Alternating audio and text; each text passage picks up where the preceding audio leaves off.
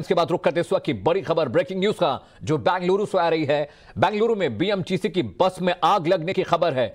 और खबर यह आ रही है कि बस में सवार सभी 25 लोग इस हादसे से बाल बाल बच गए। इस वक्त की बड़ी खबर ब्रेकिंग न्यूज़ आपको बता रहे हैं। बेंगलुरु में बीएमटीसी की बस में आग लग गई। हालाँकि राहत की बात यह है कि बस में सवार सभी 25 लोग इस हादसे से बाल बाल बच गए। तस्वीरें आपकी टीवी स्क्रीन पर हैं। देखिए, किस तरह से फ्लाईओवर के नीचे खड़ी बस धू धू कर जल रही है, धुएँ का गुबार देखिए। लेकिन अच्छी खबर यह रही कि बस में सवार सभी जो 25 लोग थे, वो बाल बाल बच गए, हादसे का शिकार नहीं हुए। इस वक्त की बड़ी खबर ब्रेकिंग न्यूज़ आपको बता रहे हैं।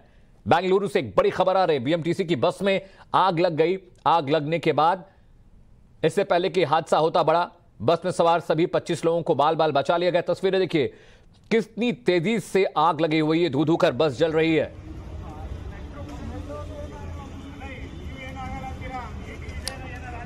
तस्वीरें देखिए, किस तरह से धुएँ का गुबार उठ रहा है। बस धू धू कर जल रही है।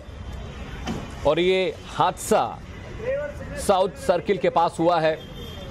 हालाँकि बड़ी खबर यह है, अच्छी खबर यह है कि इस हादसे में किसी भी तरह की जान माल का नुकसान नहीं हुआ। सभी सवार 25 लोग बचा लिए गए हैं।